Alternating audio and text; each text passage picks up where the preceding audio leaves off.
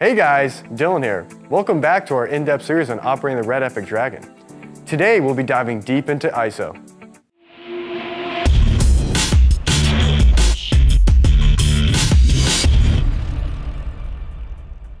First off, let's understand how ISO works with most cameras.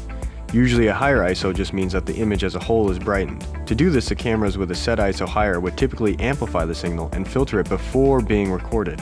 This caused the ISO to be baked into the raw data. This can add noise to the midtones, shadows, certain colors, as well as reduce the dynamic range, thus limiting post-production flexibility. With Red, the original remains unamplified before saving as a raw file. This way, the maximum amount of data is recorded from the sensor which allows maximum flexibility for adjusting exposure in post-production. This means you get a full 13 plus stops of dynamic range at any ISO. ISO only affects how the raw data is interpreted. Red cameras capture all the potential dynamic range possible for a given scene and exposure. Red doesn't apply any in-camera noise reduction as they want to maintain the most possible dynamic range, detail, and color information without losing it to aggressive lossy imaging processing techniques. Since we get a constant 13 plus stops of dynamic range at any ISO, the only things that change are where the number of stops are located. At low ISO speeds, most of the dynamic range is below middle gray, whereas at high ISO speeds, most of the dynamic range lies above the middle gray.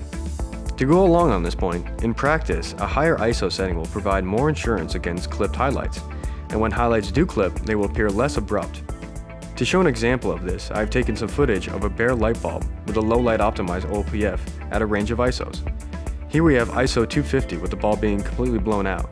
At ISO 800, you can start to see some of the actual wires in the bulb. And at ISO 3200, you can now see each wire in the bulb, thus showing the increase in highlight retention as we increase the ISO. Here you can see exactly how ISO works and looks on the Red Epic Dragon.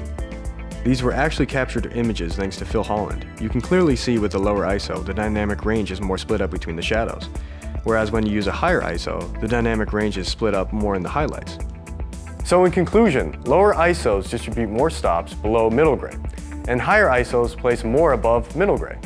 Darker scenes rated at low ISOs, when exposed correctly, benefit from both more light on the sensor, from adding more lights, opening the lens, increasing shutter angle, and the greater concentration of stops dedicated to shadow detail.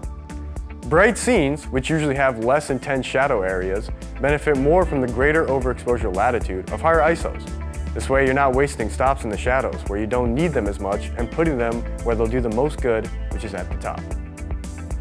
That's it for now. Thanks for watching. If you have any questions, comment below. And remember to subscribe to stay updated with our videos.